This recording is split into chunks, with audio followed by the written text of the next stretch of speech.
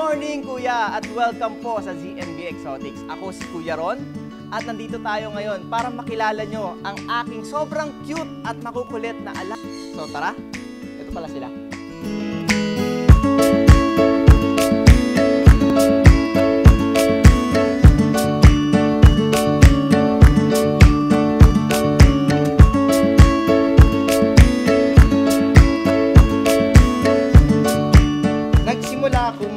Mag-alaga ng mga civet cats mga 4 years ago. Kasi talagang na-intrigue lang ako sa kagandahan nila. Ang cute kasi na tignan, no? ang ikli ng mga binti at paa nila. Di ba? Tapos napakahaba ng buntot. Hindi ko alam nung una na ganito sila kalikot at ka-active. Pero kinasayahan ko naman talaga to.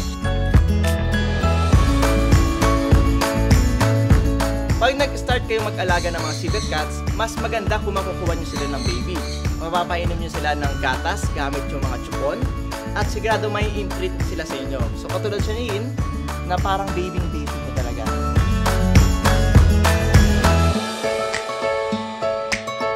Ang mga civet cats ay omnivore. Ibig sabihin kumakain siya ng animal proteins katulad ng manok at maliliit na hayop. At kasama dito yung mga gulay at prutas, katulad ng saging. Ang civet cats ay paborito ang matatamis at tropical fruits. Yan. Bukod sa mga natural na pagkain, nagbibigay rin tayo ng commercial dog food or cat food. Pero ito ay malakas makataba sa ating mga civet cats. Kaya kailangan nating ibalanse at gumawa tayo ng tamang nutrisyon para sa kanila.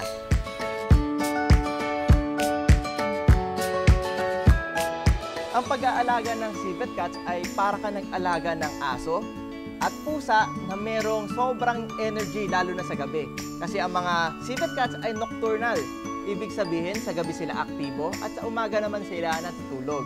Ang pag-aalaga sa kanila ay mostly sa gabi mo sila makakaband at makakalaro.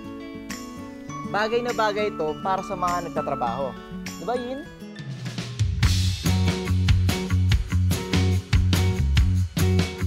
Kung kukuha tayo ng mga civet cat, siguraduhin natin captive bred. Kasi ang mga wild civet cats ay maraming dalang sakit. Kasi naapektuhan sila ng mga zoonotic diseases katulad ng rabies, salmonella, at COVID. Kaya siguraduhin natin na captive bred ang mga civet cats natin. Tapos, kailangan din natin ng mga vet certificate para makita kung meron ba silang dalang sakit. Kasi maaari silang maging carrier or pwede silang makahawa sa tao.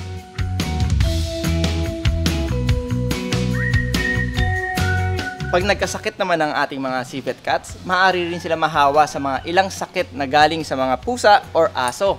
Kaya kailangan natin silang dalhin sa mga exotic vets or pabakunahan ng anti-rabies at mga ilang feline distemper at iba pang mga sakit. So, kailangan natin siguraduhin. Para mga fur babies, mga aso at pusa, parehas na parehas lang sila. Mas makulit lang to.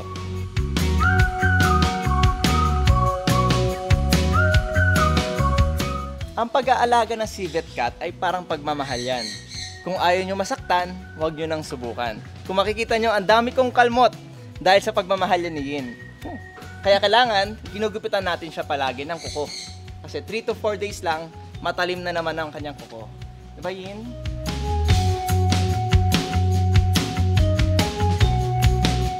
Para sa akin, sobrang nakakatuwa mag-alaga ng mga civet cats. Bukod sa napakalambing nila, protective din sila.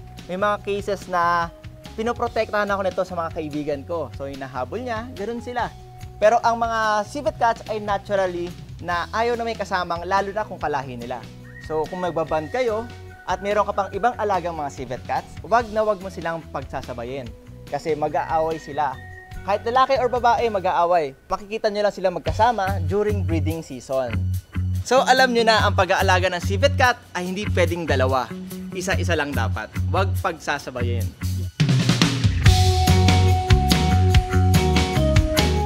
Alam nyo ba mga kasambahay, kahit cat ang tawag sa mga civet cats, hindi sila kalahi ng pusa. Mas kalahi nila ang mga meerkat or mongoose.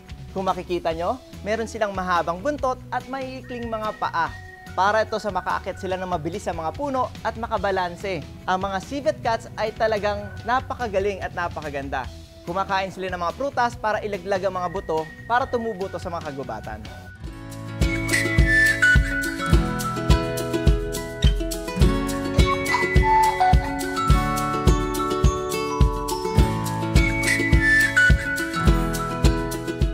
So mga kasambahay, sana may natutunan kayo sa episode na ito sa pag-aalaga ng mga civet cats. At tandaan, yung mga keepers kailangan din constant at natututo at nag-aaral para mabigay natin ang tamang pag-aalaga sa ating mga civet cats.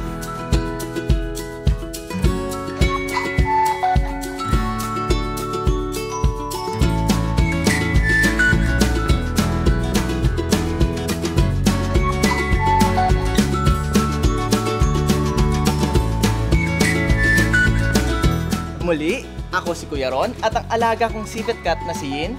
At dito nyo lang kami napanood sa Pet Talk